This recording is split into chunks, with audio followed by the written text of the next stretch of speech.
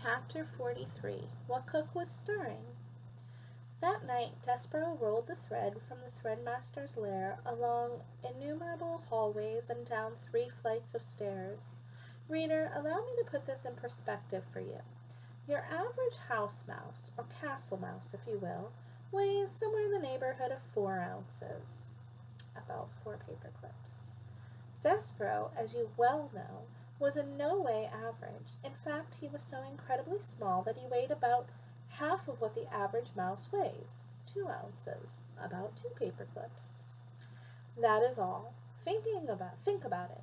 He was nothing but two ounces of mouse pushing a spool of thread that weighed almost as much as he did.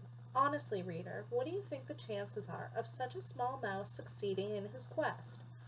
Zip, zero, nada. Goose eggs. But you must, when you are calculating the odds of the mouse's success, factor in his love for the princess. Love, as we have already discussed, is a powerful, wonderful, ridiculous thing, capable of moving mountains and spools of thread. Even with love and the purpose in his heart, Despereaux was very, very, very tired when he reached the door to the castle kitchen at midnight. His paws were shaking and his muscles were jumping and the place where his tail should be was throbbing, and he still had a very, very long way to go. Into the kitchen and down the many stairs to the dungeon, and then through somehow, someway, through the rat-filled darkness of the dungeon itself, not knowing where he was going. And, oh, reader, when he stopped to consider what lay ahead of him, Despereaux was filled with an icky feeling of despair. He leaned his head against the spool of thread, and he smelled celery there, and he thought of Hovis and how Hovis seemed to believe in him and his quest. So the mouse raised his head and squared his shoulders and pushed the spool of thread forward again, into the kitchen, where he saw, too late, there was a light burning. Despereaux froze. Cook was in the kitchen. She was bent over the stove. She was stirring something. Was it a sauce? No. Was it a stew? No.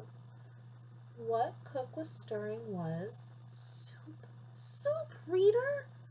In the king's own castle, against the king's law, right under the king's very nose, Cook was making soup.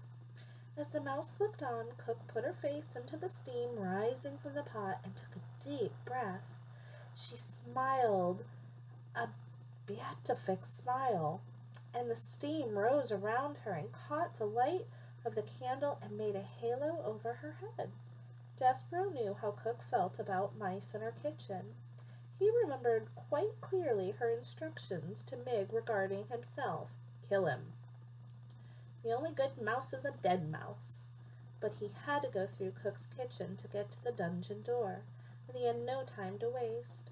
Soon daylight would draw, Daylight would dawn and the whole castle would be awake, and a mouse would have no chance at all of pushing a spool of thread across the floor without attracting a great deal of attention. He would have to sneak past the mouse-hating cook now, and so, screwing his courage to the sticking place, Despereaux leaned against the spool of thread and set it rolling across the floor. Cook turned from the stove a dripping spoon in her hand and a frightened look on her face, and shouted,